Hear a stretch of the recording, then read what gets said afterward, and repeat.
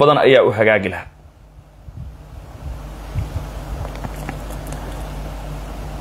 Jabuuti in ay tiraahdo etoobiya waxaan siinayaa bad. Waa laba afle. Qorsho waa mid.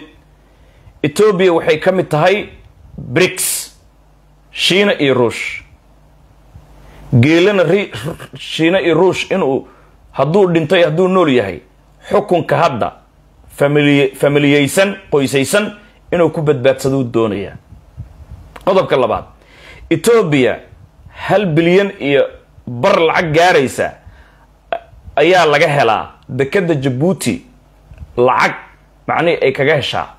Etoobiya looga helaa.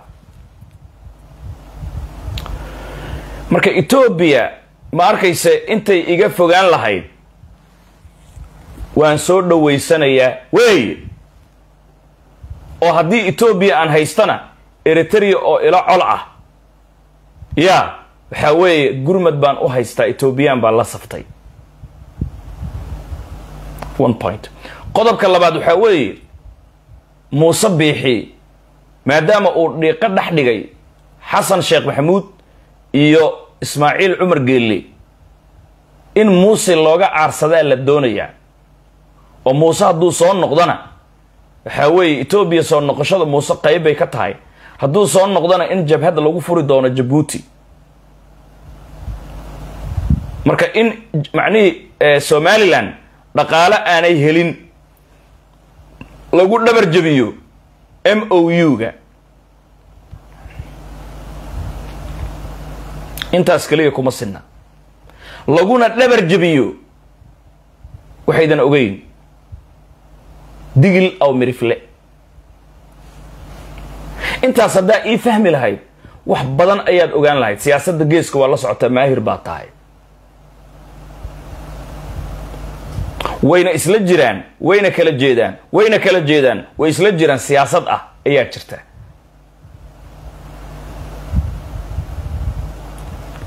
dekedan tojora etoobiya haddii la siiyo ay ogolaato ay aqbasho yaa maalgelinaya waxaa maalgelinaya imaaraadka carabta. Waa haddii etoobiya ay ogolaato waay. Laakiin imaaraadka hadda wuu diidan yahay. In etoobiya ay soo baxdo dekedan tojora in la siiyo. Sabab jabuuti iyo imaaraadka way isdagaaleen dekeda jabuuti ee dorale imaaraad baa joogay markii hore. D b wold shirkad la dhihi jiray. Shirkadaasi way isdagaaleen iyo geele markaas kadib maxkamad bay isla fuuleen. Shan boqol oo milyan oo dollar ayaa la ganaaxay jabuuti maxkamad ku taalla ingiriiska ayay kula dhammaadeen lacagtii ilaa hadda waa lagu leeyahy intaasi waa fahamtay. Okay. Dhabarjabinta marka etoobiya ma danaynaysaa dekeda jabuuti tajaro in la siiyo iyo dekeda berbera ma danaynaysaa?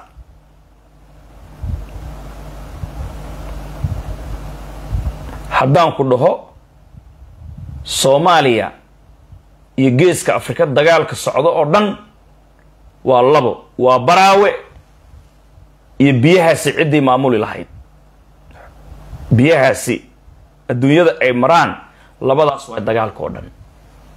Dagaal kale oo la isku haayo ma jiro etoobiya cadow ah iyo etoobiyan la dagaashana waxaas oo dhan duuduub jeebka geli. Ama jabuuti aad ama villa soomaaliya aad ama gobollada tag waxaa la ysku hayaa baraawe. Etoobiyaanku waxay aad u jecel yihiin dekeda baraawe in ay wax kala soo degaan oy baroosinka dhigtaan. Etoobiyaanka sidaasuu doonaya. Mar kale aan ku celin doonaa. Etoobiyaanka dekeda baraaway doonayaan oo digil iyo mirifle inay u daba fariistaan. Boqolkiiba boqol midaasay ku kalsoon yihiin dekadahan kale oo dhan. Laakiin waxay doonayaan damaanad qaad garantiye shan sanay doonayaan. Tusaale cabdicasiis lafta gareen haddii uu soo noqdo hubaal ay noqoto lafta gareen way ku kalsoon yihiin isaga in ay ma arkaysa macnihii la shaqaystaan dekadaasi wax kala soo degaan bay doonayaan. Waxay rabaan inay kala hubsadaan lafta gareen ma soo noqonayaa mise ma soo noqonayo etoobiyaanka waxay intaa u warwareejinayaan waayo xasan wuxuu yidhi dekada hobyaan idin siinaa dekada taas garacadaa loo sheegay berberaa loo sheegay ilaa hadda. Macnihii nacam ma dhahayaan. Etoobiyaanka waxay ku kalsoon yihiin digl aw merifland ku dhahay. Number one soomaaliya. In dekadoodana ay wax kala soo degaan. Haddii digil iyo mirifle la waayo waa baraawe ah waxay doonayaan optionka labaad garacad bay doonayaan. Ma jeerteen. Taasaa keentay marka xasan inuu diiradda saaro baraawe oo laba afle ah dekadaasi etoobiyaanka iyo raxweyn isku xirmaysa uu diidan yahay oo suuqan boqol iyo labaatanka milyan suuqa adduunka suuqaa lagu xisaabtamaa suuqa dehanaa lahaa boqol iyo labaatan milyan waa suuqan uu dehan yahay. Tartan baa lagu jiraa. Waxa laguu sheegayo waa been etoobiya waa cadow waxaasoo dhan iska dhig xagga laba aflo waayaan ku dhahay. Kow shidaalka ugu badan ee gaaska qaalisan oo baraawa ku jira iyo inta ku teedsan afgooye oo haddii digil iyo mirifle meeshaasi ay gacanta ku hayaan dekadda hadday bixiyaanna dee shidaalkan iyagaa maamulay seen u xukumaynaa digil iyo mirifle suuqii boqol iyo labaatanka milyan iyagaa naga qabsaday. Dagaalka xasan sheekh maxamuud iyo tiimkiisi waa sidaasi. Lafta gareen aniga jeebkayga soo gal etoobiyaanka aniga aan kugu maamulo waaye. Ani hayla macaamilo sidaan raba baraawa aan ka samaysto adinka digli miriflaha faa'iidaysanina annagana hoos imaada every time. Raaciyaal noo noqda. Iyo optionka labaad etoobiyaanka leeyahay oo isagana fawdo lagu furaayo. Tusaale balanballe iyo caabuduwaaq diyaarad kama soo degi karto. Go-doon baa la geliyey. Suugag marka lagu jeedinayo dagaalku wuxuu ku socdaa garacad taasaana keentay majeerteenka in ay u dhaartaan hawiye majeerteen inay dhahaan? Balanballe iyo caabuduwaaq calanka puntland baaba laga taagi. Maantana laga taagay ani waxaygu waa daqiiq waa itusoo itaabsiye muxuu ka cararayaa xasan iyo saaxiibadiisii haddii dekada baraawe etoobiyaanka ay seegaan optionka labaadna uu yahay garacad oo majeerteen ku haysto oo hadda siciid cabdullaahi deni imaaraadka inuu wax ugu daro uu ugu talagalay. Imaaraadka sheer inuu ku yeesho. Imaaraad hadduu yimaadana etoobiyaana amniga sugaayo way iswataan dekadaasi garacad waddadii ka soo bixi lahayd waxay maraysaa balanballe iyo goldogob iyo dhulkaana laga difaacaya.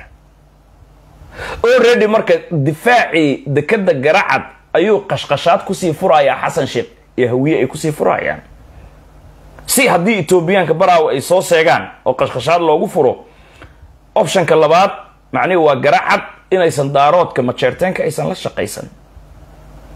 Taasaana keentay madaxweynaha soomaaliya inuu erga u dira adisababa si kasta uula hadlo uu yidhaahdo dekada garaacad waxaan idinku bedelayaa midda hobyo. Haddaad aragteen habargidir oo qaylinaysana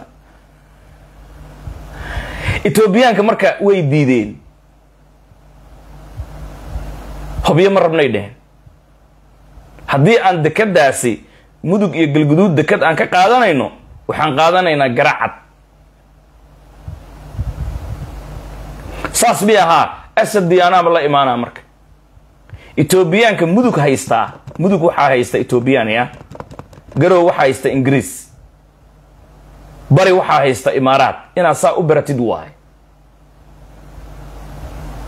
xuduuddan balanbalay caabudu waaqna etoobiyaana haysta. Mareexaanka etoobiyaan ay u shaqeeyaan. Laakiin qaar baa damuljadiid la shaqeeya. Saas mi ahaa asad diyaanaanba keenaya. Maxaan samaynayaa? Garow way nabadgelaysaa ingiriis ma rabna inaan isku dhibaatayno. Laakiin bari iyo mudug ayaan dab gelinaynaa. Waa dabkan daraad aan kuu sheegay. Maxaan u gelinaynaa? Dhuuntaan idinka qabanaynaa. Garaacda waa inay xihan tahay etoobiyaan aanu isticmaalin. Haddii baraawe optionkaasi baraawena saddex kun oo ciidan aan u wataa.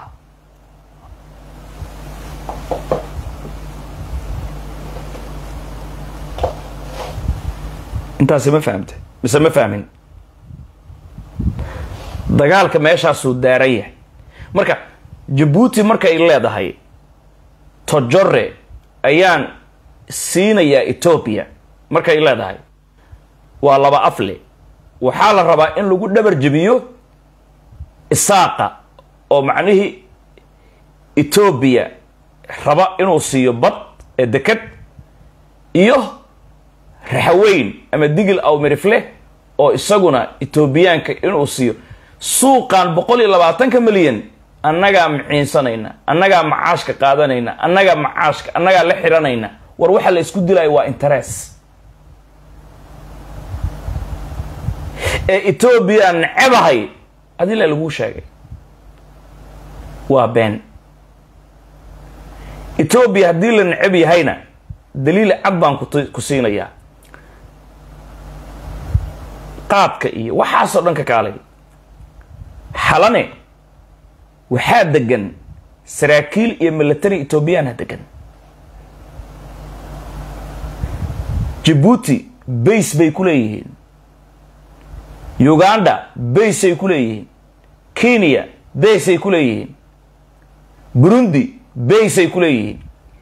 Marka meeshaasi laga yimaado madaxtooyadeenna federaalka soomaaliyeed hadda aan kula hadlaayo waxaa dhex fadhiyo oo jooga saraakiil iyo ciidan militariga federaalka etoobiya dhex jooga now. Waxaana ka dhex furan military attache wax la yidhaahdo oo ay leedahay xukuumadda adhisababa uu ra'iisul wasaare ka yahay abi axmed muburiyo xasan sheekh oo marka uu khatar galo xasan uu u yeedho uu yidhaahdo ciidamo iisoo dira naftaydii badbaadiya. Soomaali baan ka cabsanayaa. Hadday joogaan wax kalean kugu daraa haddana. Etoobiyaan la dagaalaynaa maxaa gacanta kugu jira dal xornimo taaka kama gorgortamayn ware ayaa gacanta ku haysaa fiiri. Every morning subax kasta siddeedda iyo soddon daqiiqo markay tahay reer yurub midooda yurub wasaaradda gaashaandhigga wasaaradda amniga iyo wasaaradda arrimaha gudaha way tagaan iyagoo lugeynaya ribood bay ka soo qaataan ay ka qoraan. Waa la kantaroolaa waa wasaaradda gaashaandhiggaan ku dhahay. Wasaaradda amniga. Wasaaradda ma arkaysa macnihi arrimaha gudaha. Gudaha sowma joogo xoosh. Amniga sowma joogo fartaag. Gaashaandhigga sowma joogo cabdiqaadir maxamed nuur jaamac. Riboorka marka laga soo qoraayo la kantaroolaya budgetka maadaama musuq maasuq lagu tuhmaayo oo farmaajo sidaa looma kantarooli jirin tuuganimadooda macnihi xadka goosatay. Waxaa ku weliya saraakiil garbaguduud ah oo jabuutiyaan ah iyo kenyaan ah iyo etoobiyaan ah ayaa riboorka wax ka soo qora waa wasaaraddii gaashaandhigga soomaaliya marka uu ku leeyahay sheekh shariif sheekh axmed hal guuto oo maanta soomaaliya toos u dagaalami kartaa male markuu ku leeyahay wuu kula hadlay been baa lagu sheegaya maleeshiyaadka la soo ururiyey oo garaadooyinka lagu taxay oo meelaha sawirada been baa lagu sheegay. Hal guuto oo dagaalami karta iskaba dhaafe hal urur oo toos u dagaalami karaa ma jiro soomaaliya maanta. Oo xasan gacanta uu ku hayaa. Inaa middaa ogaatid waay. Believe or not subax ilaahay keeno every morning wasaaradda gaashaandhigga soomaaliya wasaaradda amniga soomaaliya wasaaradda arrimaha gudaha soomaaliya car ha igu beeniyo xoosh car ha igu beeniyo fartaag. Car ha igu beeniyo jaamac. Car ha igu beeniyo xasan sheekh maxamuud madaxweynehayga jamhuuriyadda soomaaliya. Saraakiisha etoobiya ayaa riboorka ka qorta. Markaasaa wuxuu kugu sheekaynayaa raxaweyn waa etoobiyaan kaalkaal etoobiyaan la dagaalamaynaa etoobiya dhulka inay nagu haysataa waxaa la go-doominayaa. Awalaa reerkiisa oo shabaaba ay go-doomiyeen dadkan masaakiinta ah oo macnihii mareexaanka iyo digl oo mirifle leh. Wiil meeshaan ka hadlay oo mareexaana sheegay wuxuu yidhi dadkan mareexaan iyo digl iyo mirifle besay u socdaan uu ku yidhi. Thats true. Thats true. Waxaa soo raaca waxaa weeye waa kaa marka xasan sheekh maxamuud waxa isku hayaan ma arkaysa isaga iyo qolyahan kale hadda waad ogaatay. Marka barkulanka dagaalka soomaaliya laba waay. Biyahan badda cas iyo badweynta hindiya kantaroolkeeda yaa etoobiya oo leh anaa la wareegaya ammaanka. Maraakiibta adduunka lacag ha siiyo. Dad badanaan leeyahy ciidan badan. Heshiiskana sidaasaan ku galnay aniga xasan iyo xasan sheekh maxamuud oo ka booday muuse markuu uga booday oo taagan heshiiska macnihii maamuladan ila qabo markaa kadib baddaada gal. Haddaadan gelin soomaan haa masar iyo eritrea ayaan macnihii u dhiibaynaa badda. Jabhadana kugu furaaya niyow dagaalku waa intaas. Masaarida hadda macnihii mudaharaadyadii ka dhacay mayland baa adduunka loo fasiray oo gadaal u celiyey laakiin meesha uu waday waa baraawe. Waxaan ku dhihi jiray masaarida baraawe inay tagta ma ogola. Laakiin xasanaa ku dirqiyaaya masaarida waxay dhihi jirtaan ku dhahay xasanow dhulkiini galguduud iyo dhulkaan le aan joogo oo waxaa weeye raxweyn waxay dhex masaaridii way